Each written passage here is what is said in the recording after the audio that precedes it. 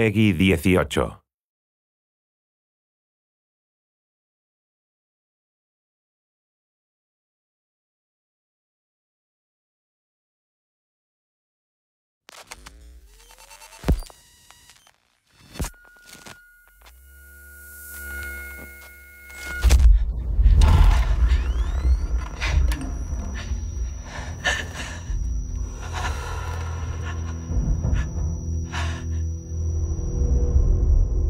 When audiences went to see Alien in theatres back in 1979, they were introduced to a new creature that was terrifying, unstoppable, and totally unique. We wanted to make a game that recaptured that original experience. We wanted to make the alien scary again. Depending on how cautious players are, we've seen encounters in Alien Isolation last well over 30 minutes in some cases, and this just can't be done with scripted behaviour.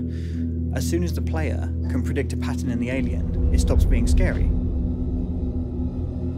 It doesn't follow any prescribed path or set of behaviours that are telling it to do specific things, it's just reacting to the player's presence and the choices that the player makes. The alien really is hunting you. It is using active senses and moment to moment decision making to hunt you down and kill you.